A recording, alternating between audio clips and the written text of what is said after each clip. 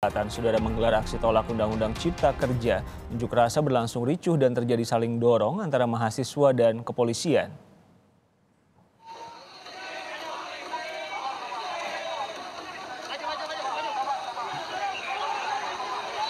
Dalam aksi yang berlangsung di depan kantor DPRD Kalimantan Selatan, polisi memblokade mahasiswa yang mencoba masuk.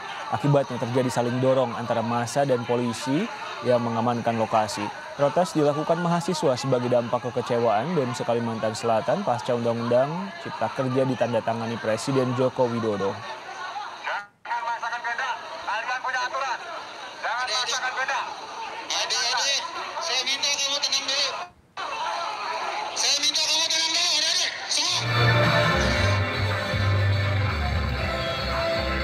Unjuk rasa menolak Undang-Undang Cipta Kerja juga dilakukan Aliansi Mahasiswa Lampung bergerak di Tugu Adipura, Kota Bandar Lampung.